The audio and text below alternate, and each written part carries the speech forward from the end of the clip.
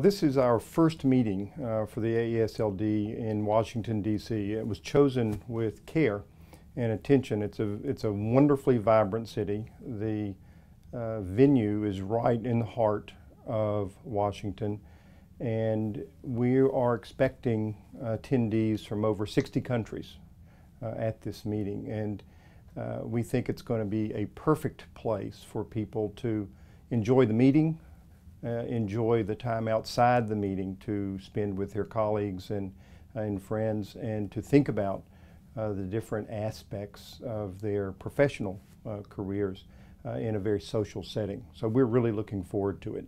I think that a large spectrum of the the uh, research and practicing uh, membership and non-members will benefit from attending this meeting, largely because the contents are so diverse and uh, span everything from updates in clinical care to the latest uh, in scientific advances.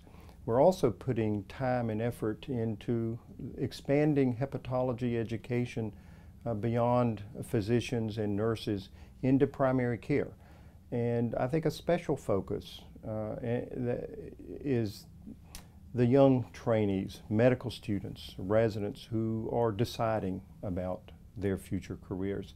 This is the place where they will get a real taste of, of what people are doing and what their careers might be like, uh, spanning again from the science to what it means to save someone's life if they have liver disease.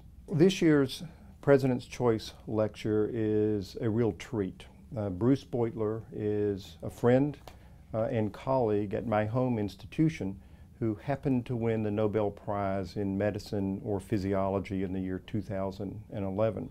I think it's going to have broad reach, uh, way out of the, the typical realm of hepatology and allow all the attendees to embrace the most recent advances in immunology and think about how it's going to apply uh, to the practice of hepatology.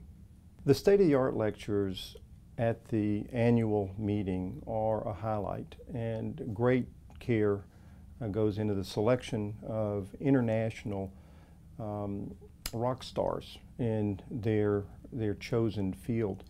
This year marks the 50th anniversary of the original description of alpha-1 antitrypsin deficiency. Dr. Perlmutter and his colleagues in his laboratory and around the world have made remarkable advances just in the last several years. And so I'm looking forward to this presentation being a real summary of the state of the art uh, and opening some windows, some real optimism for what the future might hold for this disorder. We look forward to seeing you for the 64th meeting of the AASLD in Washington, D.C. this fall. Science, clinical care, all the cutting edge activity taking place in hepatology from around the world awaits you.